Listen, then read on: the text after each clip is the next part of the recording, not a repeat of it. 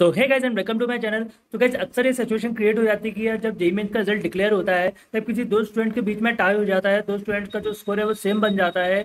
तब यार ये बड़ी प्रॉब्लम हो जाती है, ये पता करना कि किस स्टूडेंट को ज़्यादा रैंक दी जाए, किस स्टूडेंट को कम रैंक दी जाए। तो गाइज़ इसी प्रॉब्लम को ध्यान में रखते हुए एनटीए ने यार नया लेटेस्ट अपडेट निकाला है। उन्होंने एक नई टाइप ब्रेकिंग प्रोसेस को डिक्लेयर किया है, जिसमें उन्होंने बताया है कि जब अगर दो स्टूडेंट के बीच में टाई हो जाता है, दो स्टूडेंट का सेम स्कोर बन जाता है तो उस कंडीशन में हम यार मैथमेटिक्स के स्कोर को सबसे पहले प्रेफरेंस देंगे। मैथमेटिक्स का स्कोर को चेक करेंगे। अगर जिस स्टूडेंट का मैथमेटिक्स का स्कोर ज़्यादा आता है, उसको ज़्यादा रैंक डिक्लेयर कर दी जाएगी।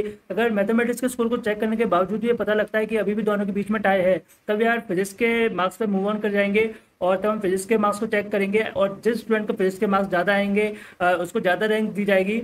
और फिजिक्स के मार्क्स को चेक करने के बावजूद भी ये पता लगता है कि यार अभी भी दो स्टूडेंट्स के बीच में टाई है तब यार केमिस्ट्री के स्कोर पर मूव ऑन कर जाएँगे और तब केमिस्ट्री के स्कोर को हम चेकआउट करेंगे किसका स्कोर ज़्यादा है किसका कम और उसके अकॉर्डिंग रैंक दी, दी जाएगी। एंड गाइज़ अगर ये तीनों सब्जेक्ट के प्रेफरेंसेस को चेक करने के बावजूद ये सामने आता है कि अभी भी दो स्टूडेंट्स के बीच में टाई है, अभी भी उनका स्कोर सेम आ रहा है, तब उस केस में हम नेगेटिव रिस्पॉन्स और पॉजिटिव रिस्पॉन्स का रेशियो देखेंगे दोनों स्टूडेंट्स का। और जिसका ये रेशियो कम आता है, उसको ज़्यादा रैंक डिक्लेयर कर दी जाएगी उसकी ज़्यादा रैंक आ जाएगी। तो गैस मैं एन को यार बहुत बहुत थैंक यू कहता हूँ कि इन्होंने ये टाइप ब्रेकिंग प्रोसेस को डिक्लेयर किया। अब इससे ज़्यादा परेशानी नहीं होगी ये फाइंड आउट करने में कि दो स्टूडेंट के बीच में किसकी रैंक ज़्यादा है, किसकी रैंक कम है। उस केस में जब दो स्टूडेंट का सेम स्कोर आ जाए या फिर उनके बीच में टाई हो जाए। सो गाइज़ मैं जे मेन जे एडवांस और भी कॉम्पिटिव एग्ज़ाम से रिलेटेड और मोटिवेशन वीडियोज़ है, मैं अपने चैनल पर डालते रहता हूँ। तो गाइज़ मेरे चैनल को सब्सक्राइब करना बिल्कुल भी मत भूलना। और गाइज़ वीडियो आपको इन्फॉर्मेटिव लगे हो तो यार इस वीडियो को लाइक कर देना कमेंट कर देना शेयर कर देना और मेरे चैनल को यार ज़रूर सब्सक्राइब कर देना। तब तक के लिए guys thank you all the best and bye